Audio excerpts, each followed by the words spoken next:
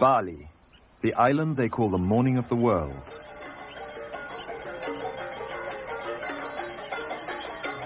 It's here my brother Lawrence and I have built our home. It's been a place to return to from all our travels. That's Lawrence, and I'm Lorne, the one wearing a skirt. We'd recently been reading about another island in an old book, the same one that had led us to Indonesia nine years before. The Malay Archipelago by Alfred Russel Wallace. Nine years of rough treatment on this too, and it's this book is not quite what it was when it first lured us into Indonesia. It had been a constant companion on all our adventures since, even the hairiest ones. This time it was going to get us into some serious trouble, the most difficult and dangerous of all our Indonesian adventures.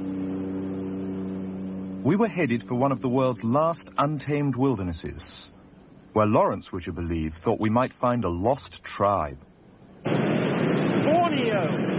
Since earliest childhood, the very word has filled me with awe and fascination. But it's about the last place on earth I actually expected to find myself in. But here we are now, seven days after we first began this ridiculous adventure, at the start of a search for the nomadic Punan Dayaks, who, we hope, may still be wandering way beyond these rapids, high in the unexplored interior. From the coastal authorities, we heard they no longer exist in their nomadic form. We heard stories of giant horned uh, river, river snakes and cannibals. But the only way we can find out is to get in there. And the only way to get in is during the rainy season, when the rivers are swollen enough to be able to get right the way up to their source. Rivers are Borneo's only highways, and Lawrence and I had managed to hitch a ride to the interior on the fastest boat on the river.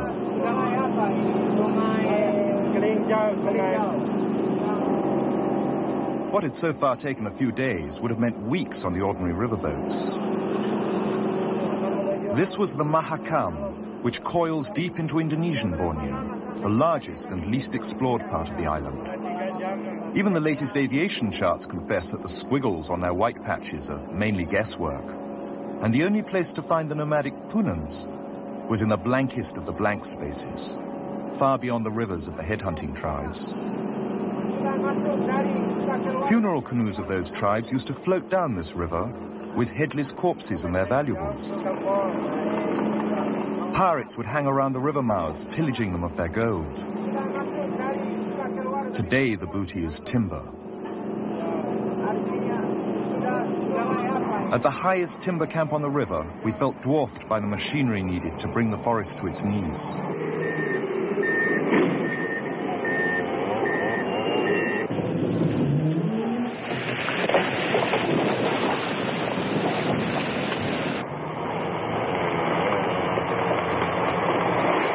The forest canopy shelters many species still unknown to science. As the canopy goes, they go with it, never to revive.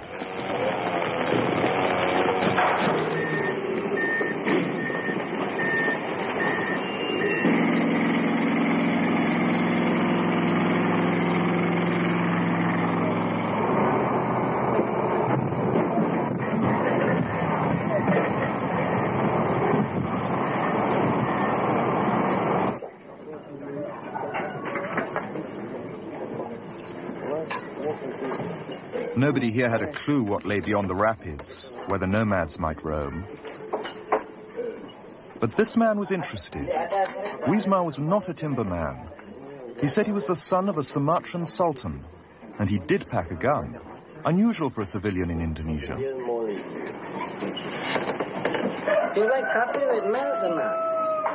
I'm all right with it. He had persuaded the timber company to take him upriver to the last tribal longhouse before the rapids, and he invited us along.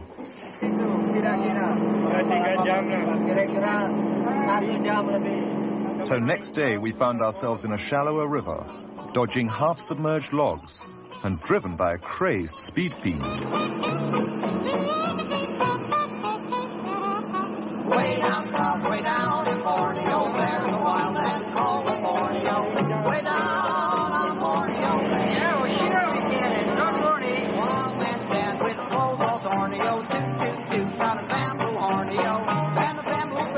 Tortoise, tortoise.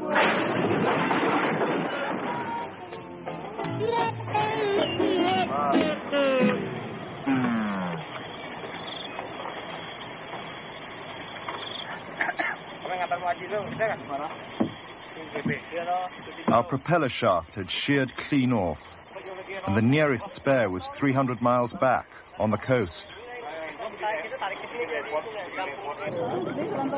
So it was on to the buses for us, and a chance for Lawrence to get into some serious research. Well, I'd already read what little there is about the Punans. They're being driven further and further into the forest by people like our fellow passengers.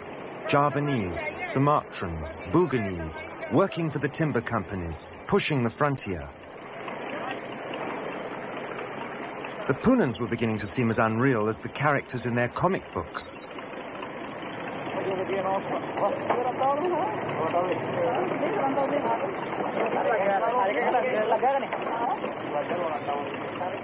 It had been days without rain, and we began to worry.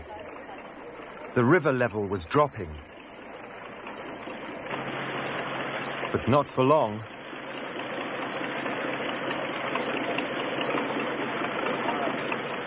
We could keep nothing dry, and after a few days, fungus-like things were beginning to grow on us.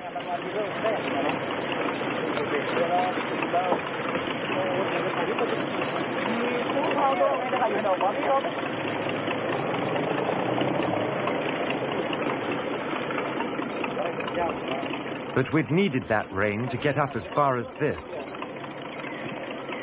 Kenyah Dayak territory. These are both grave markers and warnings to outsiders, for the Kenyah were ferocious headhunters. They're just one of the some 200 different tribes of Dayaks, as the peoples of Borneo are called.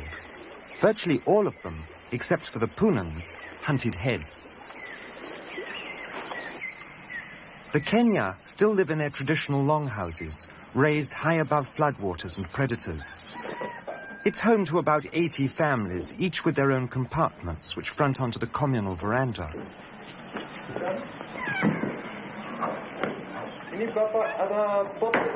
This man is the village's official guardian of tradition. He showed us his family album. Satu saya punya nenek, satu ini. Ini saya punya bapak ini. Perang sama This was his father, who led the last headhunting expedition dari Malaysia dulu. over the border into Malaysian Borneo. Dapat dua kepala dia bawa ke He brought home two heads. They had a big party. rame. Dan ditangkap Belanda. Ya, ditangkap Belanda dulu. But the colonial Dutch government caught him. Eight years in Banjarmasin jail.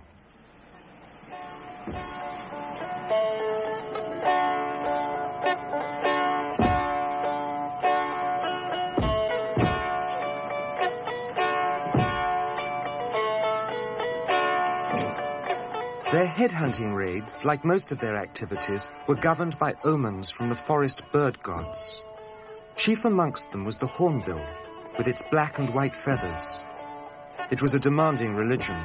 Seeing certain birds at certain times were taken as omens which had to be immediately obeyed. Sebab terlalu susah bicara adat, banyak burung. He said the old religion was too difficult, too many birds. They couldn't go anywhere without being stopped by them. Now they believe in Jesus, he says. They can travel where and when they please.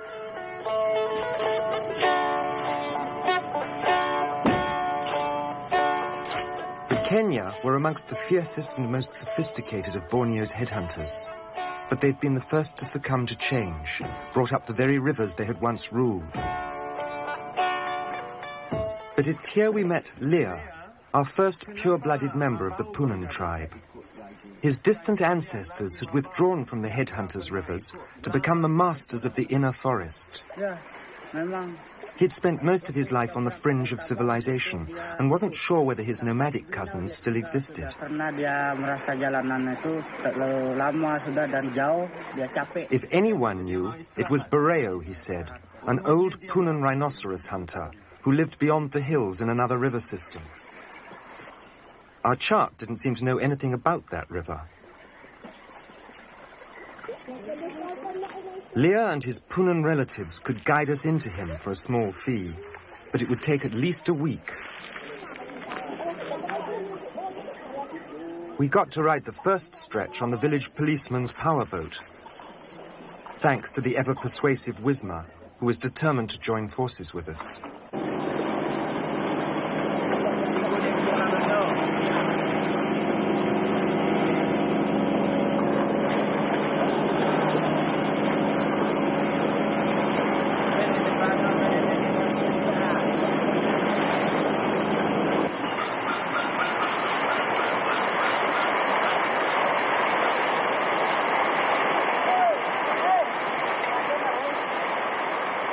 The rapids meant the end of the line. That was the last powerboat we'd see in a very long time.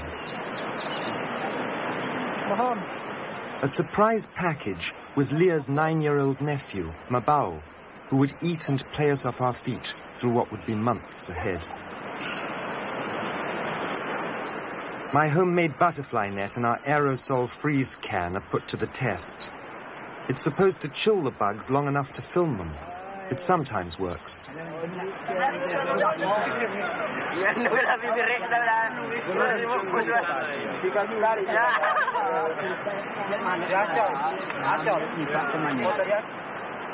But this is a Rajah Brooke birdwing, first captured and named by Alfred Russel Wallace, who described having nearly passed out with excitement when he actually saw it in his net.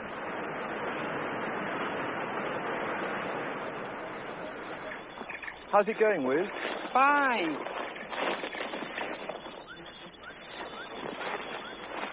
Our guides insisted on going barefoot for balance and grip. They each carried an average of 80 pounds on their backs, twice the international airline allowance. We carried virtually nothing and still had a hell of a time keeping up with them.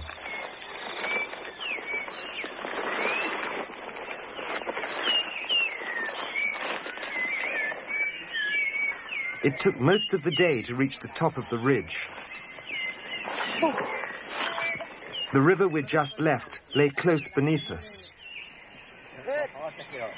While on the other side, the forest seemed to stretch forever.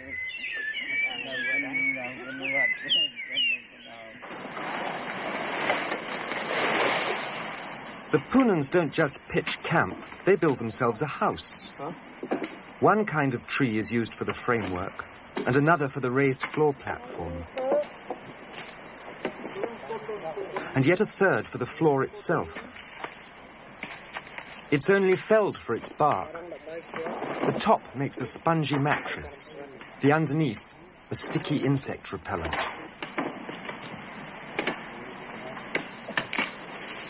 It seemed rather wasteful to us, but Lear said that Punan law permits the use of all but the tallest trees, for they're the guardians of the forest, the protectors of all life. If Wismar hadn't liberated some plastic sheeting from the timber company, they'd have thatched it with special leaves. It took them about half an hour to build. Every night we'd make one of these and abandon it next morning.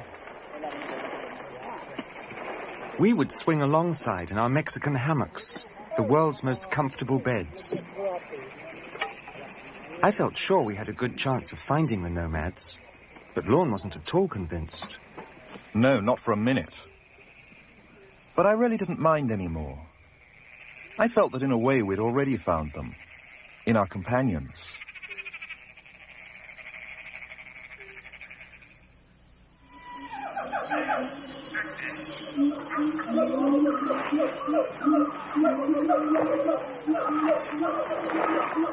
Next day, we set out to the Symphony of Gibbons, the high wire artists of Inner Borneo.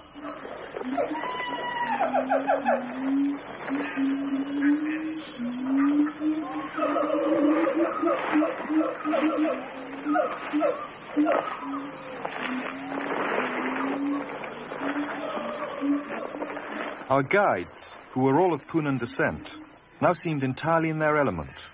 We couldn't have been in better hands.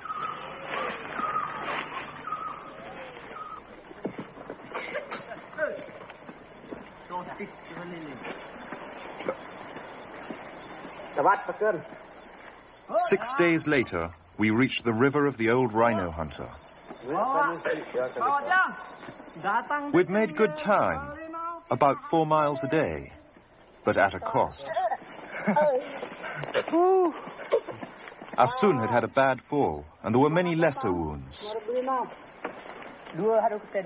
At this rate, our precious duct tape wouldn't last long. There were canoes here, common property left by the last travellers to set out overland, but not a paddle between them. No problem for our Punan guides.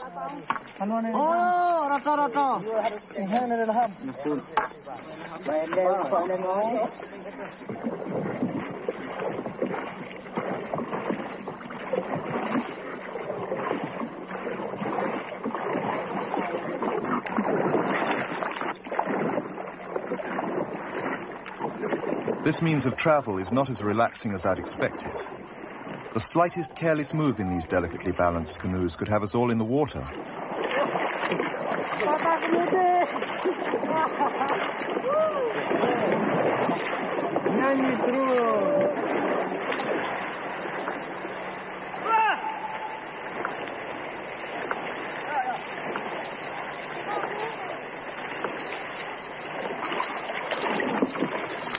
few hours from the rhino hunter's longhouse, we agreed that Wismar's canoe should pull ahead to warn him of the odd strangers who were about to descend on him.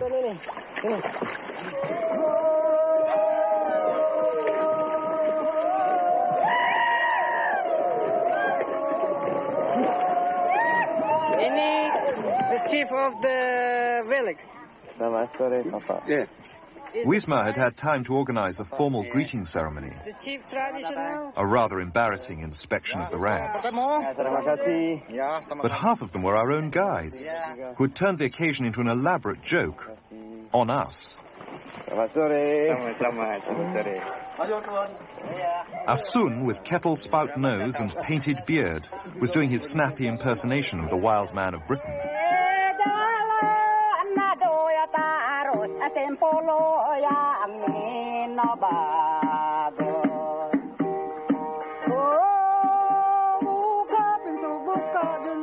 We wanted wild punans. They'd show us wild punans. An anthropologist's nightmare.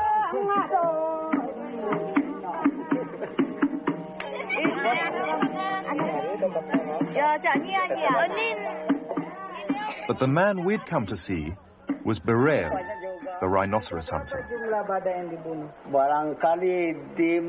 He told us he'd killed about 55 rhinos. He eats the meat and can sell the horns downriver as aphrodisiacs. It's illegal, of course. But this is the old hunt, following one rhino for three months and killing it with a spear. He'd decided to face the interview wearing his official headman's uniform. But Wismar, it turned out, was more impressed by what he had to say about gold-bearing rivers. We wanted to know about Bereo's nomadic cousins. He hadn't seen them in many years, but they just might be found at this season, about 25 days away. 25 malam jalan kaki. But it was a long and a hard journey. Dari datang ah, sungai di dalam lubang itu, baru mudik sungai itu. And he wondered if we had any idea what we were in for. Ada juga yang bisa buaya kita. Barangkali When we asked if he would guide us in, he was hesitant, si, je- kalau ano, but intrigued by the idea of seeing them again. 10 tahun itu Then he said he'd not only take us, but he'd contribute all the food. 80 ribu. Rice. The dry mountain rice that Barreo had only started growing about 10 years before, when he made the change from pure nomad to agricultural settler.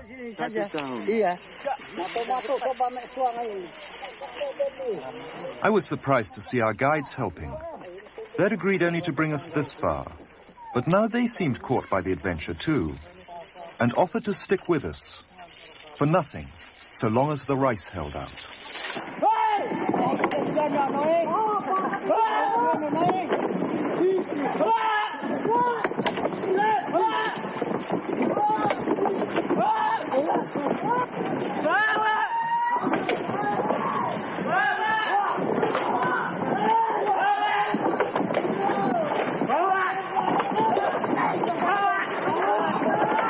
Pulling upstream, all day, every day, calls not only for stamina, but an extraordinary sense of shared balance.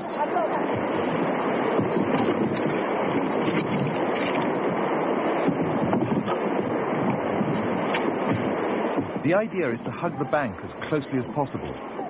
The current's weaker here, and more important to me, there's a better chance of making it ashore if we turn over.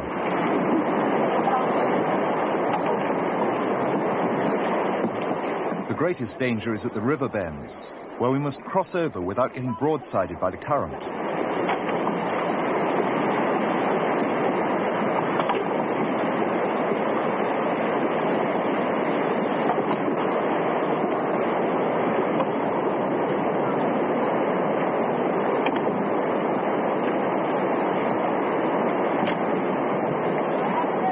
By now, we'd made it higher up Berreos River than any outsider before us.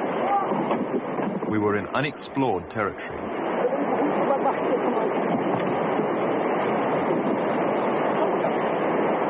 In places, the current became too fierce even for the most heroic poling.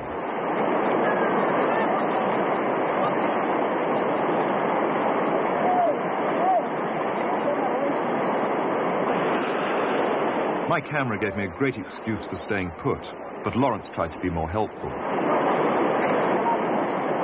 I felt like such a colonialist just sitting there waiting for a dunking that whenever I tried to help, I was ordered back in.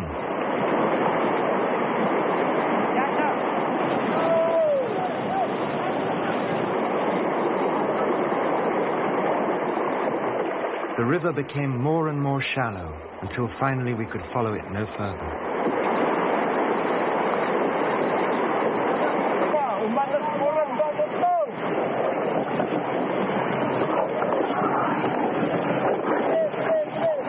Our canoes above the high water mark for others who might need them, perhaps even ourselves.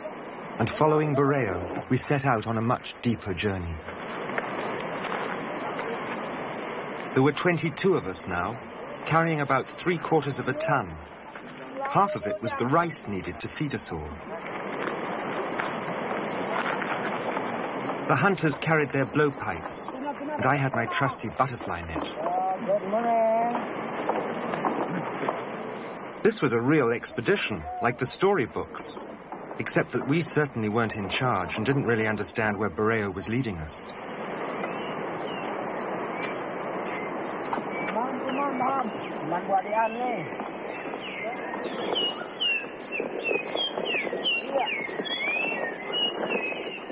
It's not a silent forest.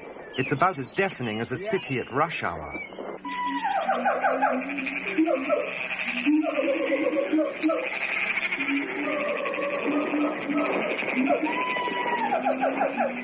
But what to us is a single wall of sound, to the Punans is distinguishable for all its individual musicians. Creatures which to us are almost invisible.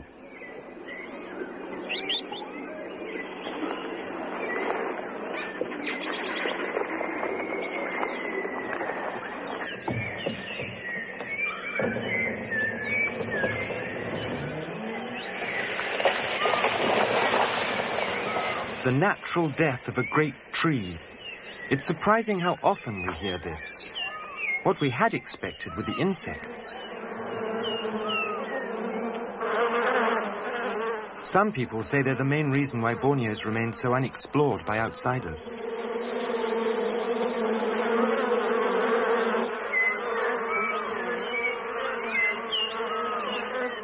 We were getting a few nasty stings every day now. And these tiny bees have a particularly vicious one. But they're only after the salt in our sweat. And we must move very gently to avoid their anger.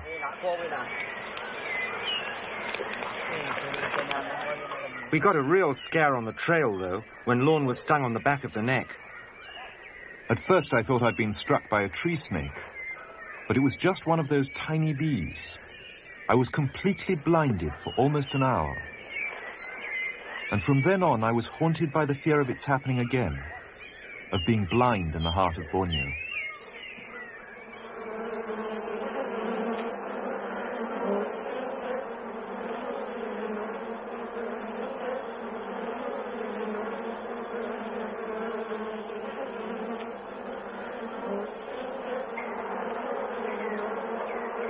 And then there were the leeches, They'd tightrope down our hammock cords or get us on the trail.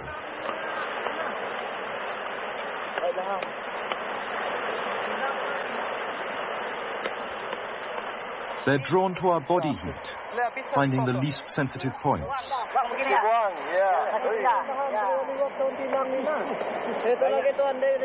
Barreo said it's best to let them suck their fill, then they come off easily.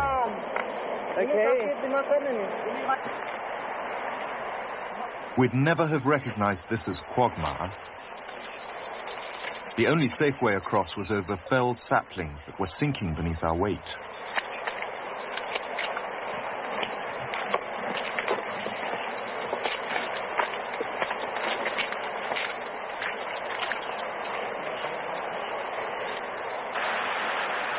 Our greatest fear was of breaking a leg, a serious matter here. This isn't stretcher-bearing country.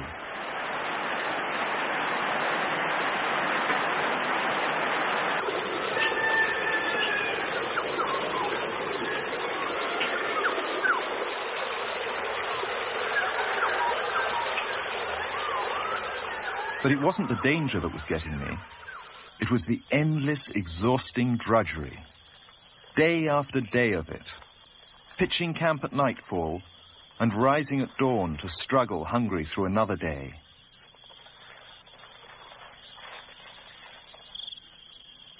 And we hadn't a clue where we were. We clung desperately to our chart, trying to impose some sort of order on our wild surroundings. Then everything changed. That was the day Barreo led us up to a high promontory. A waterfall well over a thousand feet high where there are supposed to be no rivers. Kira-kira seribu meter. Have you noticed there's not a single river on our chart, on the air, aviation chart, even not even a river mark, let alone a giant whatnot? Or the other one that's round the corner from there. You see there are two. There are two of them. There's no indication of that on the chart either. That must be another river to produce so much water. Barreo told me he'd never been there. His ancestors had long ago. He reckoned they were only about two days off course. He could take us there, but instead of trying to fix them on our map, I was surprised to find that Lorne and I were quite content to leave the honor of naming these falls to some later traveler. Something had happened to us. We no longer felt like struggling explorers. We could discard our useless chart and wander freely in the blank spaces beyond the known world.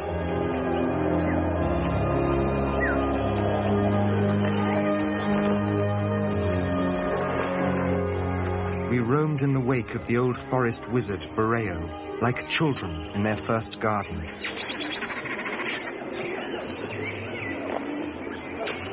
Even though he hadn't passed this way in 20 years, he seemed to know exactly where he was going. The secret, he told us, is that the Punans know they have two souls.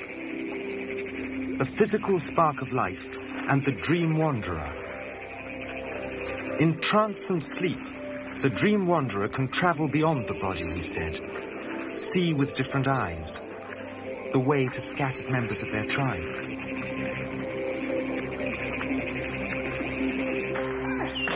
The whole atmosphere had changed. They paused at whiskey-colored rivers. They said their waters were a special tonic.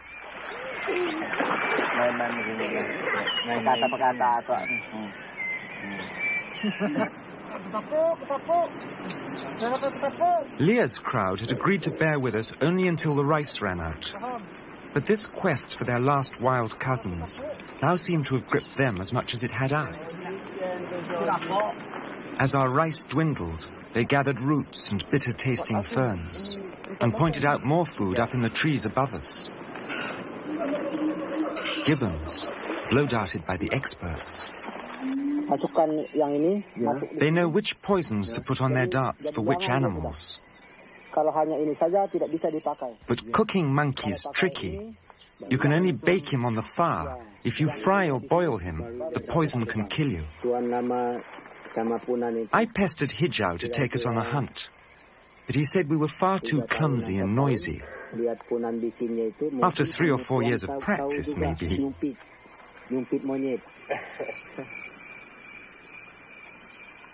First, we'd have to learn how to move like the forest,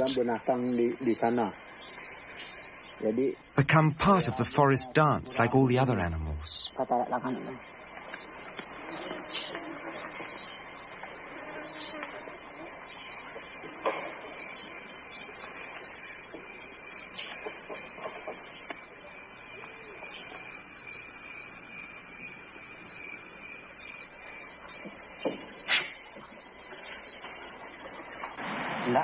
By now, gibbons were our only source of protein. We were hungry.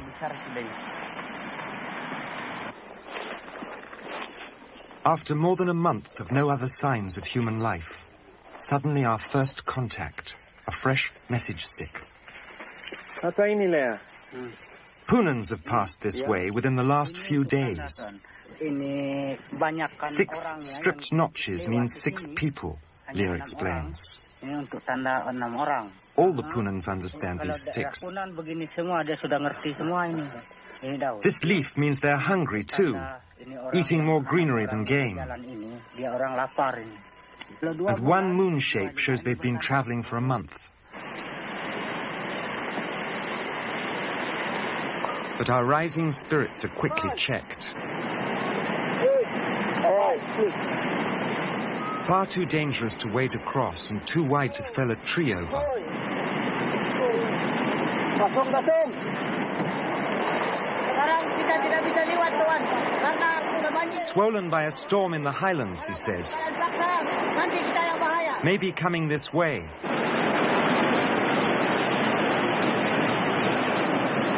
And he was right. Five relentless days of it.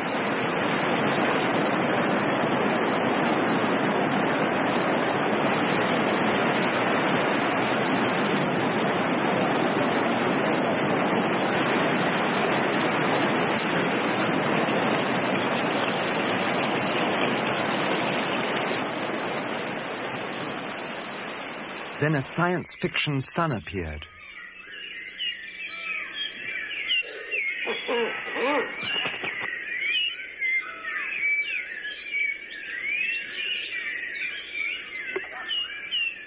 But it would still be days before the river subsided.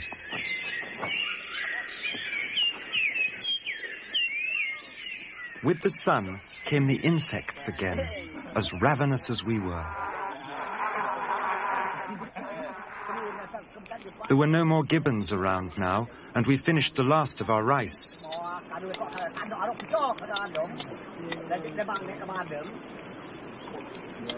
I was feeling distinctly insecure at this point, but they didn't seem at all bothered. You see, they hadn't told us that during the rainstorm, Borreo had had one of his dreams.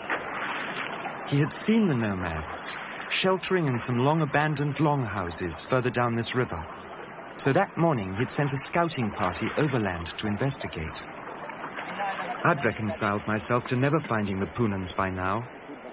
But our companions seemed to have complete confidence in Borreo's dream.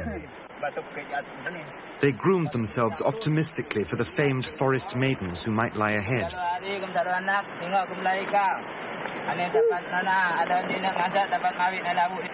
Adik, kamu tak ada anak, tengok aku melahirkan. Ada yang dapat anak, ada yang nak ngasak, dapat kahwin, ada abu. After several days, the river had subsided, and our scouting party reappeared with canoes. The longhouses were there, and so too, for the moment, were nomadic Punans. Yang, yang dekat lapangan pesawat itu? Iya, iya. Itu bapaknya Piglek. Bapaknya? Cucunya neneknya ya.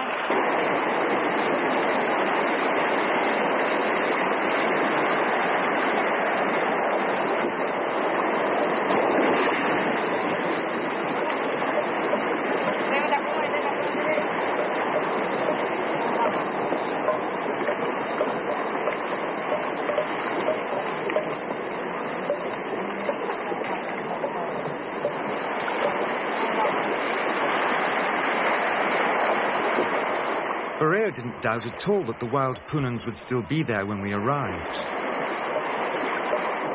I wondered what they'd make of Wismar and us, if they hung around to find out.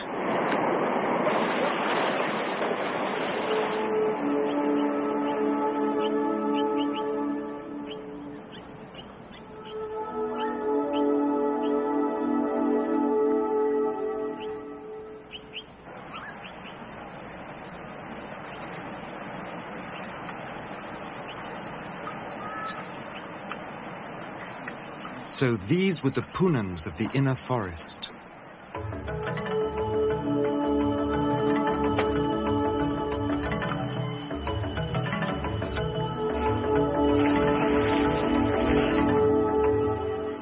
They were nervous at first, fearing we might be agents sent to track them down and domesticate them. Over the last five years, some had settled more or less permanently into these long houses, built and abandoned by another tribe long since gone. But many of them still wander freely in the forest and were just passing through.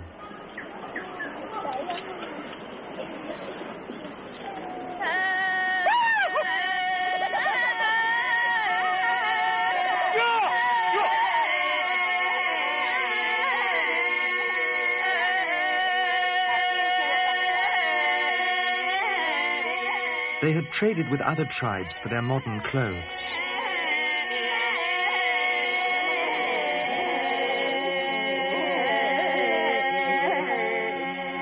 But they wore them with heirlooms inherited through hundreds of generations.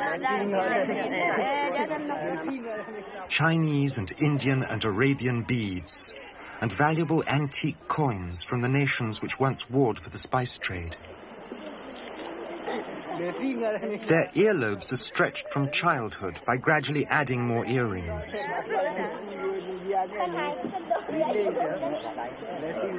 It's not the rings, but the long ears which are the objects of beauty.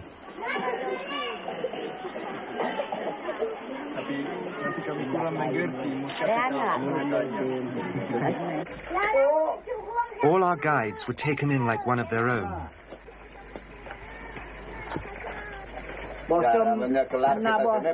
Our best clothes got their first proper laundering for the big bash that night.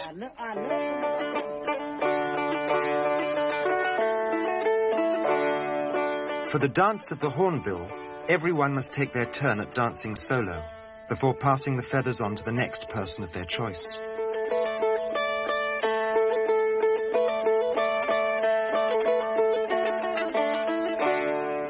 Controlled movements are supposed to reflect the dancer's skill at balancing within him the upper world of the dream wanderer and the lower world of matter.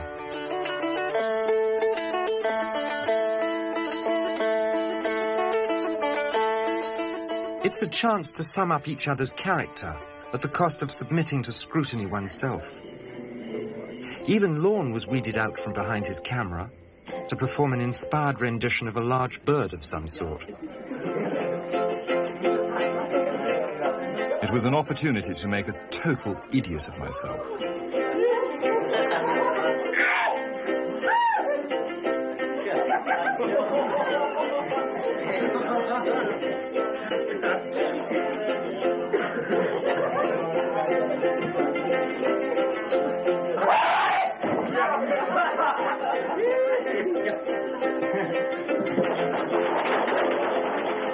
Hijau, the hunter, did somewhat better than me.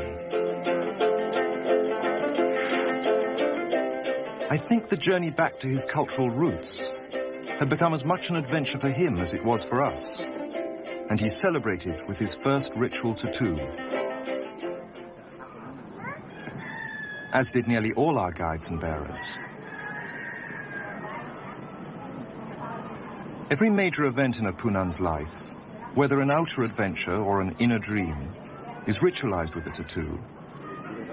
This way he carries his entire life experience engraved on his body.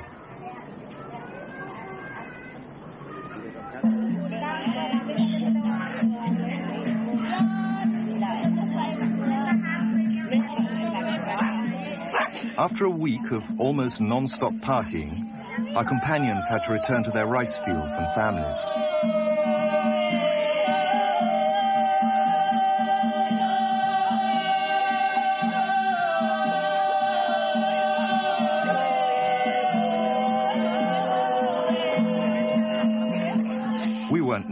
To leave this magical world Borreo had guided us into, and he assured us that his forest cousins could lead us out when the time came.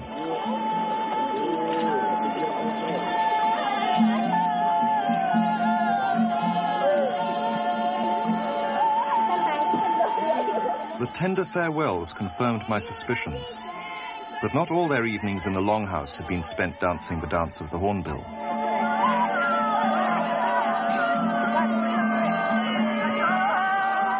Wismar, who hadn't found whatever it was he was after, went with them.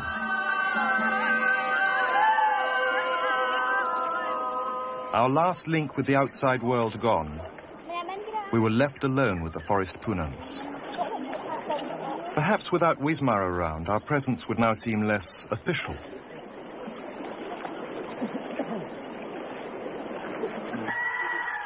The elders began telling us that many of them shelter in these longhouses only during the heaviest rains, before returning to follow the jungle tides of wild game.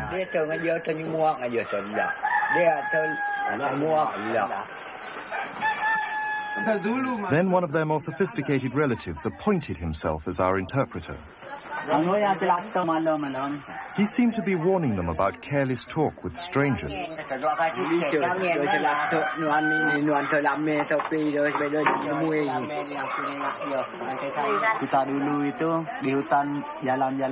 He insists they're saying that their old ways, just wandering in the forest, hunting and gathering, were evil. Now they plant bananas and yams. That's good. Mana tempat babi, itu dia jalan ikutnya, itu jahat. Nah, kami tidak percaya asing. Cuma Tuhan. Lawrence wasn't getting very far with his religious research either. Kalau Jesus atau asing atau There's only one God, the interpreter says. Hmm. Jesus, and no other. Tuhan.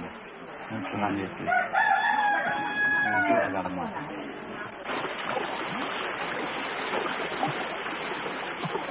I realized the interpreter was only trying to protect them. He'd seen enough of the outside world to know that the truth can be dangerous. We'd been in too big a hurry.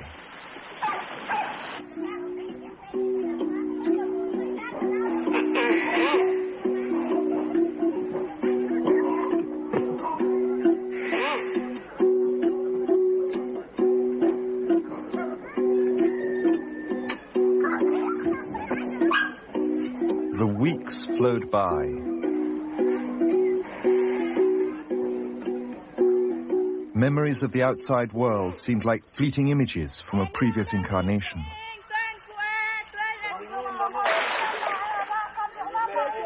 Every morning we were awakened to the rhythms of their water music.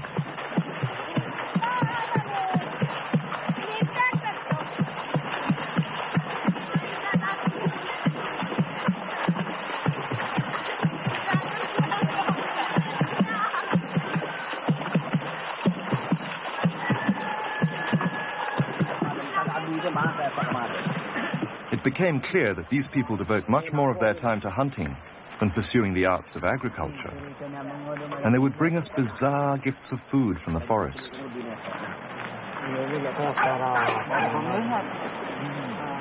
Their hunting dogs are valued almost as highly as their children. And they never go short of love.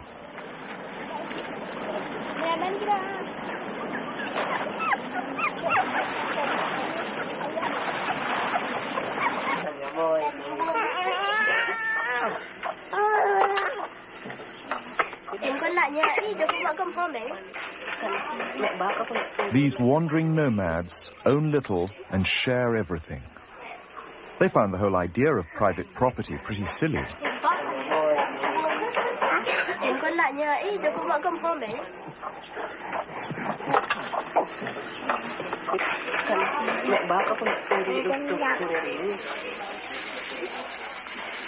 What they do own must be easy to carry, like the woven rattan mats and baskets, so prized by all the other Dayak tribes of Borneo. They trade them for clothes, but they'd never part with the family baby carrier. Encrusted with ancient beads and bear's claws and crocodile's teeth, they're magical shields against both physical and psychic harm. But the meaning of the central symbol still eluded us. We saw it everywhere, in many forms. They called it Aping, but would tell us no more.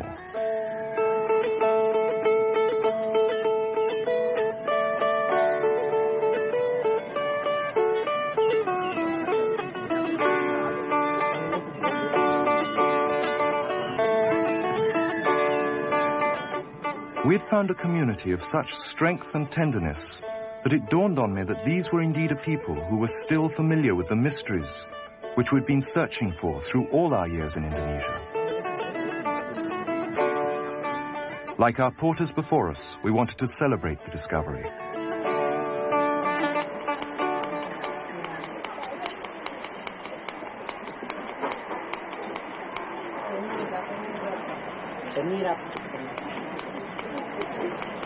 How's it feeling? Feels like a bunch of bee stings, one after the other. A couple of sweet old ladies pounded a dye of charred roots into us with rusty nails for three hours. And then they started all over again. When I stood up the first time, I thought that a slab of flesh was going to fall out in the same shape as the drawing. It was they who chose the designs, not us. And they explained to Lawrence what they meant. They told me they were symbols of ah Aping, whose many faces we'd been seeing all around us. The supreme Punan god, the tree of all life. I'd become very close to Gadget and his wife Mera, and they now told me why they'd been so hesitant to talk about ah Aping.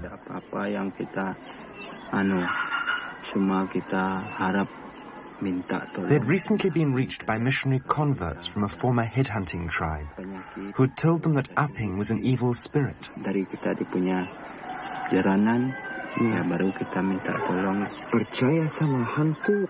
But those who believed in him kita mati dia bilang ini.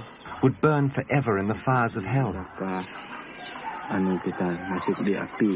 Dia as all their ancestors were now doing. The missionaries had also insisted that the president of Indonesia was a Christian and that it was against the law not to be one. I pointed out that the president was actually a Muslim and that if they were wrong about that, then their facts about hellfire mightn't be too reliable either.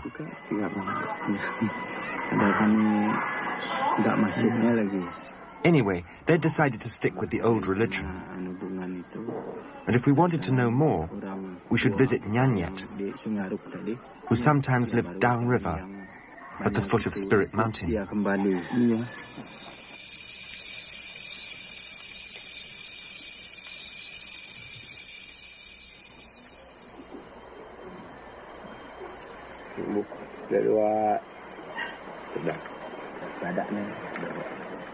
Nanyet is possibly the last priest of the old religion. He spends most of his time alone in the forest, but returns to become both the community's doctor and philosopher. He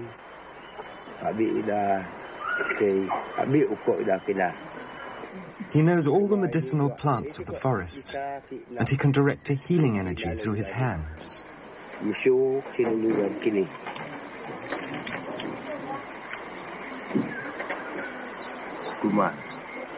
Beluar He said we all have a dream wanderer, though most of us live our lives amongst the roots of the world. Our dream wanderer can learn to move through the upper branches of the tree of all life, the body of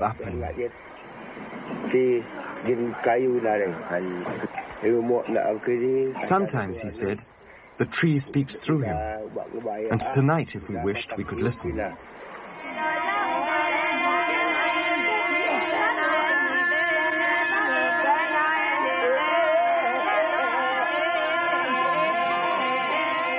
Almost nothing is known or written about the Punan religion.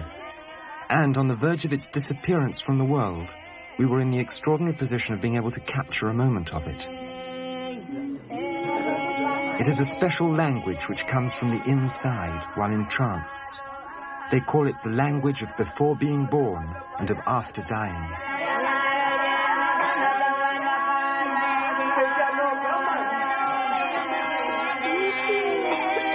There we were, stumbling over our cables, struggling with failing batteries, blinding them with our lights. And it was only afterwards that Nanyet told us the entire thing had been just for our benefit, to awaken our dream wanderers.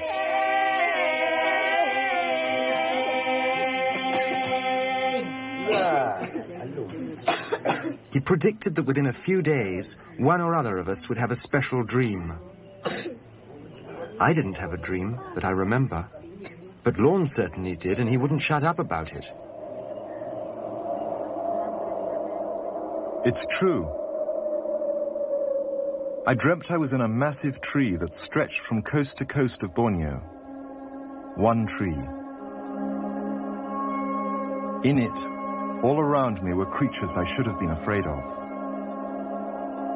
And others that should have been afraid of me.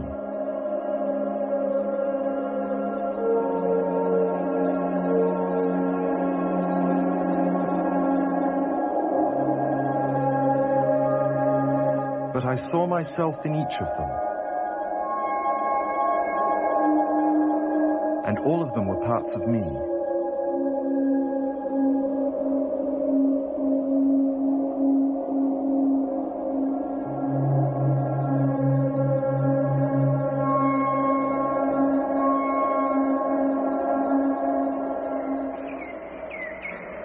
For me, the whole thing had been a dream. Finding them, becoming part of them, and now leaving them again in their secret place.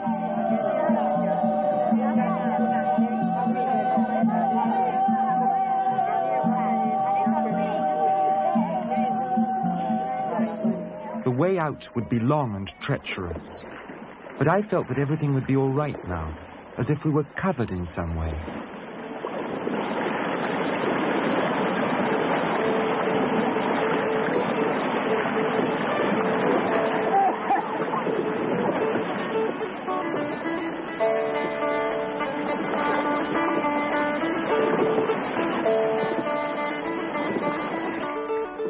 Nanyet had told us that from now on, wherever we might get to amongst the tribes of man, we bore the symbol of ah Aping as a reminder of the one tree.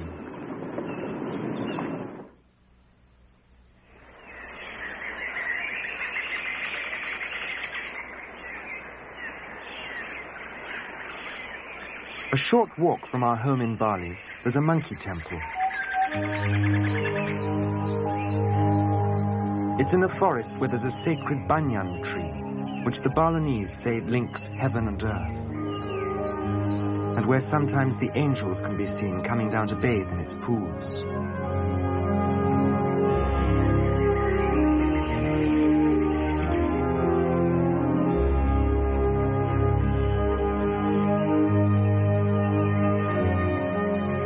After Borneo, their dance had a new meaning for me, and so did the trees.